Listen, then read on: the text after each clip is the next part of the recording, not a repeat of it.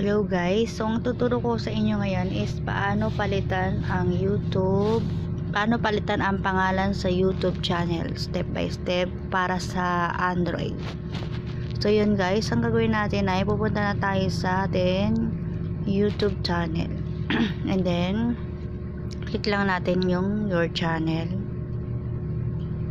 Pagkatapos natin i-click yung your channel is i-click po natin ang atin settings channel.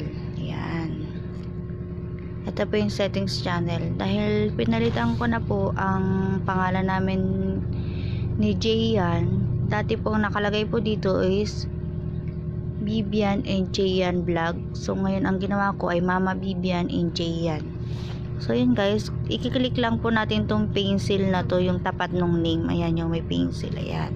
Pag-click po natin yan. Kunyari sample gusto mong palitan ng kunyari wala pang nakalagay dyan na pangalan. Ayan.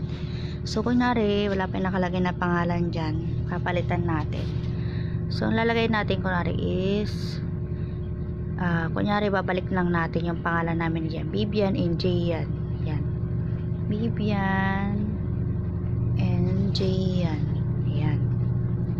Jayan hindi ko na nalagay yung vlog. Ayan. Bibian and Jayan ayan kunyari yan nilagay na natin yung Bibian enjoy yan. So yun guys ganun lang po kadali gawin na palitan po yung ating uh, youtube channel.